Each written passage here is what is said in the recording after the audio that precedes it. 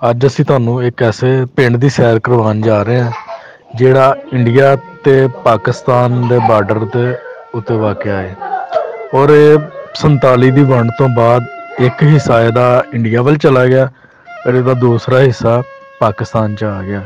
ਯਾਨੀ ਕਿ ਇਹ ਪਿੰਡ ਅੱਧਾ ਲੈਂਦੇ ਪੰਜਾਬ ਚ ਆ ਤੇ ਅੱਧਾ ਚੜ੍ਹਦੇ ਪੰਜਾਬ ਚ ਔਰ ਇੱਕ ਹੋਰ ਇਹਦੇ ਨਾਲ ਹੀ ਇੱਕ ਹੋਰ ਖਾਸ ਗੱਲ ਇਹਦੀ ਇਹ ਵਾ ਕਿ ਸਵੇਰ ਸਾਦਕ ਦੇ ਟਾਈਮ ਸਵੇਰ ਸਵੇਰ ਇਸ ਪਿੰਡ ਵਿੱਚ ਇਧਰਲੀ ਸਾਈਡ ਤੋਂ ਅਜ਼ਾਨਾਂ ਦੀ ਆਵਾਜ਼ ਆਉਂਦੀ ਹੈ ਤੇ ਉਧਰੋਂ ਗੁਰਦੁਆਰਿਆਂ ਦੇ ਵਿੱਚ ਜਿਹੜੀ ਇਬਾਦਤ ਜਾਂ ਮਸਬੀ ਰਸੂਮਾਤ ਹੁੰਦੀਆਂ ਨੇ, ਉਹਨਾਂ ਦੀ ਆਵਾਜ਼ ਆਉਂਦੀ ਹੈ। ਔਰ ਇਹ ਜਿਹੜਾ ਪਿੰਡ ਹੈ, ਸਦੀਆਂ ਤੋਂ ਮੌਜੂਦ ਹੈ। ਔਰ ਇਸ ਪਿੰਡ ਵਿੱਚ ਹਲੇ ਵੀ ਉਸੇ ਤਰ੍ਹਾਂ ਹੀ ਮਿੱਟੀ ਦੇ ਜਿਹੜੇ ਮਕਾਨ ਨੇ ਜਾਂ ਜਿਸ ਤਰ੍ਹਾਂ ਲੋਕਾਂ ਨੇ ਡੰਗਰ ਵਗੈਰਾ ਰੱਖੇ ਨੇ, ਬੇਲੀਆਂ ਨੇ, ਬਿਲਕੁਲ ਉਸੇ ਤਰ੍ਹਾਂ ਹੀ ਮੌਜੂਦ ਨੇ। ਔਰ ਇਹ ਪਿੰਡ ਅਸੀਂ ਤੁਹਾਨੂੰ ਦਿਖਾਣੇ ਆ ਇਹ ਬੜਾ ਇੱਕ ਸਕਾਫਤ ਦੇ ਨਾਲ ਇਹਦਾ ਤਲਕ ਹੈ, ਇੱਕ ਗਹਿਰਾ ਤਲਕ ਹੈ ਕਲਚਰ ਹੈ। ਪੰਜਾਬ ਦਾ ਜਿਹੜਾ ਖਾਸ ਕਲਚਰ ਹੈ, ਉਹ ਸਾਨੂੰ ਉਹਦੀ ਝਲਕ ਜਿਹੜੀ ਹੈ ਉਸ ਪਿੰਡ ਵਿੱਚ ਨਜ਼ਰ ਆਉਂਦੀ ਹੈ। ਔਰ ਇਹ ਪੰਜਾਬ ਦਾ ਸਮਝ ਲਓ ਕਿ ਬਾਰਡਰ ਦੇ ਉੱਤੇ ਸਭ ਤੋਂ ਲਾਸਟ ਪਿੰਡ ਇਹੀ ਹੈ। ਔਰ ਆਓ ਅੱਜ ਤੁਹਾਨੂੰ ਇਸ ਪਿੰਡ ਦੀ ਹੀ ਸੈਰ ਕਰਾਉਂਦੇ ਆ ਔਰ ਇਹਦੇ ਨਾਲ ਹੀ ਸਾਡਾ ਚੈਨਲ ਨੂੰ ਸਬਸਕ੍ਰਾਈਬ ਕਰੋ। ਵੀਡੀਓ ਨੂੰ ਲਾਈਕ ਕਰੋ ਔਰ ਕਮੈਂਟਸ ਲਾਜ਼ਮੀ ਕਰਕੇ ਸਾਨੂੰ ਦੱਸਿਓ ਕਿ ਤੁਹਾਨੂੰ ਪਿੰਡ ਕਿਹਦਾ ਲੱਗਾ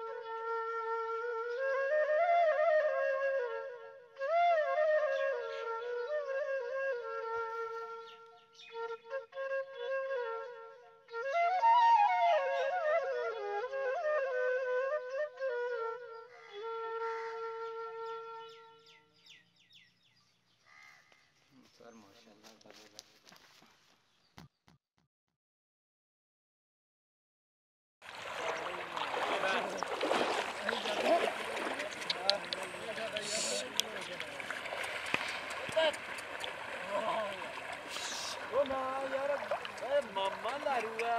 ਲੜਾਈ ਨਹੀਂ ਕਰਨੀ ਉਹੀ ਬੱਚਿਆਂ ਦੀਆਂ ਗੱਲਾਂ। ਇਹ ਉਹ ਡੈਂਕੀ